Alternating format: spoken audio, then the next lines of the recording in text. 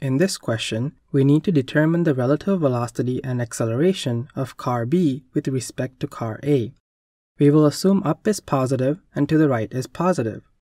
Let's write the velocity of car A in Cartesian vector form. Since it's going in a straight line to the right, it's going to be 30i. Now we can write the acceleration in Cartesian form as well. That's going to be 2i. For car B, we also need to write the velocity and acceleration. Let's focus on velocity first.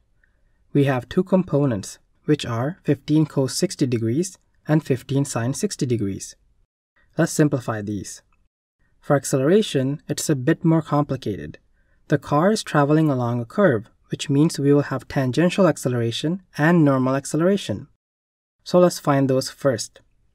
The tangential acceleration is 0.8 meters per second squared, which is given to us in the question. The normal acceleration can be found using this equation. The radius of curvature is 250 meters and the velocity is 15 meters per second. So let's plug those in and solve. Now we can express each of the accelerations in Cartesian form. So for each acceleration, we will write the i component and the j component. For the tangential acceleration, since it's slowing down, the arrow is pointing backwards, which means both components are negative.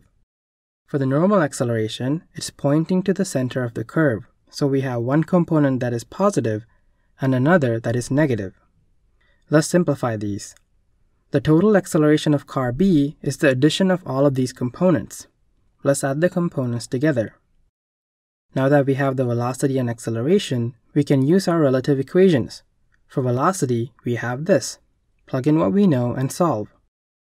Now we can find the magnitude of velocity. The angle can be found using tan inverse. For acceleration, we will do the same, using the relative acceleration equation. Plug in what we know and solve. Now let's find the magnitude. The angle can be found using tan inverse. Those are our answers. Thanks for watching and I hope this helped. Best of luck with your studies.